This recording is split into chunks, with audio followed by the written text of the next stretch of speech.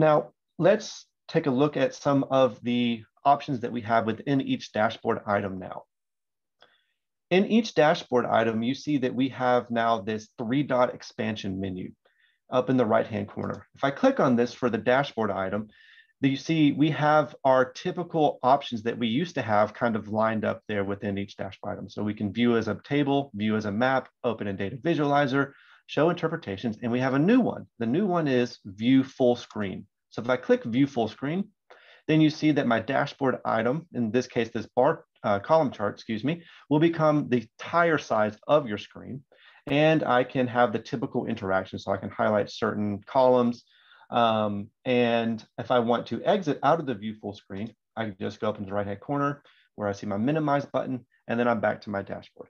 We, we appreciate this is a powerful feature to be able to share data directly from the dashboard. We want people to be able to look at their dashboard, plug into a projector or uh, share their screen on a, on a teleconference call and to be able to present the data large so that uh, you know they can communicate around the data more easily.